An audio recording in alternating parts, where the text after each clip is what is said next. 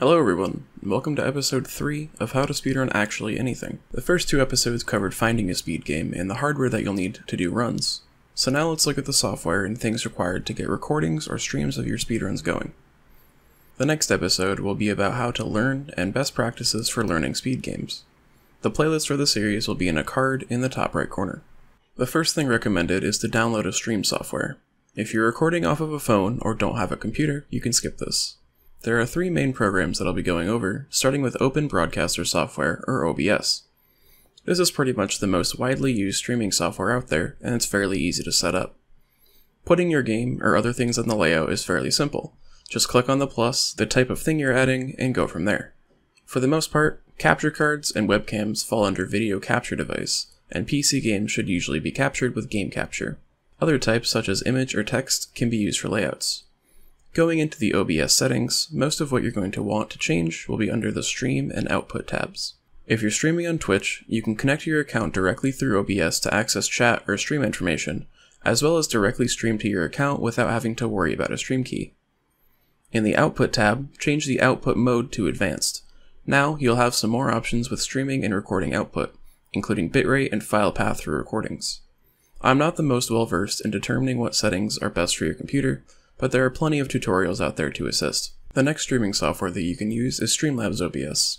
This software is very similar to OBS itself, as Streamlabs OBS is built off the base OBS platform. As such, setting up stream, video quality, and the like are the same. Streamlabs OBS integrates with the Streamlabs platform as well, which includes things like alerts and notifications.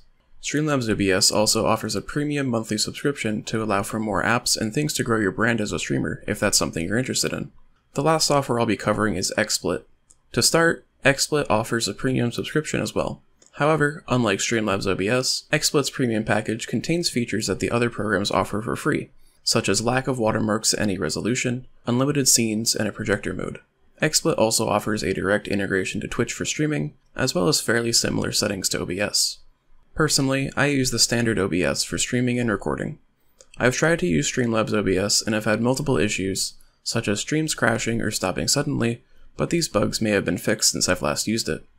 I'd say that Streamlabs is more suited for those trying to make a brand on Twitch without wanting to put in too much effort, which isn't necessarily a bad thing.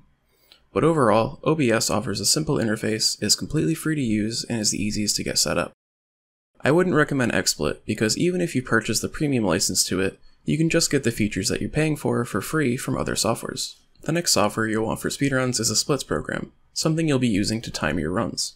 The most popular here is LiveSplit, though there are others such as WSplit or MSplit if you're on mobile. I'm just going to talk about LiveSplit here, but the setup should be fairly similar for the other programs.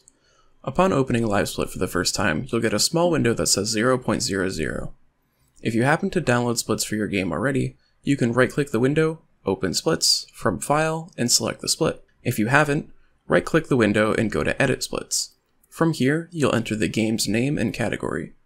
After that, you'll enter each segment you'll want to split on, clicking Insert below after each one. You may also want to set up the auto splitter for the game if it has one from this menu. After you finish that, right click and save splits. Now you're ready to start timing and splitting. The default hotkey to begin the timer and split is the spacebar, though this can be changed in the settings menu.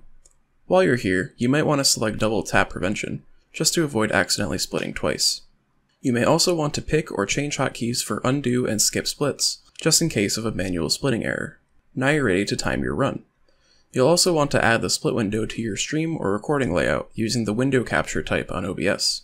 This isn't required, but is extremely helpful to those that'll be verifying your run and is highly recommended to do. Once you have a run recorded, you can submit your run to speedrun.com or whatever your game uses for leaderboards. This is fairly easy to do and a very similar setup for each game. Go to the Games page, go to the Categories tab, and click Submit Run. Fill out the time, platform, the date the run was done on, and any other information. For the video, your best options are to upload the run to YouTube or save a highlight on Twitch if you streamed it there. If you don't save a highlight of the run, the video will be deleted after either 2 weeks or 2 months, depending on if you have Twitch Prime or are a partner. Fill out a description of your run if you want, then click Submit to submit your run to the mods for verification.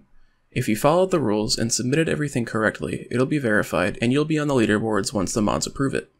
If the mods reject your run, they'll give you a reason why it was rejected. For example, you might have a run rejected due to no video, accidentally submitted to the wrong category, or you accidentally broke a rule. There are also some game dependent programs that you might want to look into, such as practice ROMs and randomizers. There aren't too many games that utilize these yet, but a few of the more popular games offer them, such as Super Mario 64. With a practice ROM or codes, you can easily go to any level that you want to practice it, make save states to return to, among other features. Some of these features can also be used in emulators if you're using one. Things like these can be found in the resources or guides section of a GameSpeedrun.com page. A link to a document with a bunch of links to practice ROMs will be in the description, as well as links to everything else mentioned. With the programs mentioned here, you'll be ready to record, time, submit, and maybe practice your run more effectively. If you have any other suggestions for software one might want to use when setting up to record a speedrun, put it in the comments. Now that we're ready to run the game, the next episode will be about how to effectively learn the run. Thanks for watching, and I'll see you soon.